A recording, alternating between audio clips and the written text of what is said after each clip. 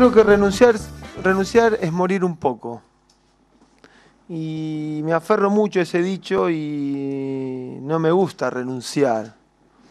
Eh, solamente planteé ante quienes debía hacerlo eh, si yo le estaba haciendo daño al club.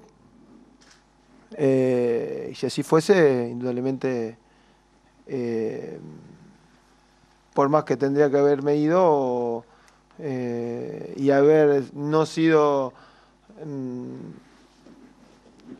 este, o no tener en cuenta ese dicho que dije recién, eh, lo iba a aceptar, indudablemente. Creo que ninguna persona es merecedora de que se la eche. Eh, y nosotros como cuerpo técnico creo que algo, algo entre todos, no solamente nosotros, hemos dado a esta institución eh, como para que se mencione esa terminología. Hay que buscar, hay que buscar, seguir intentando. El equipo no, no funciona, esa es la verdad y cuando mínimamente funciona no tenemos llegada y cuando cometemos un error va adentro y, y a veces esas cosas no ocurren.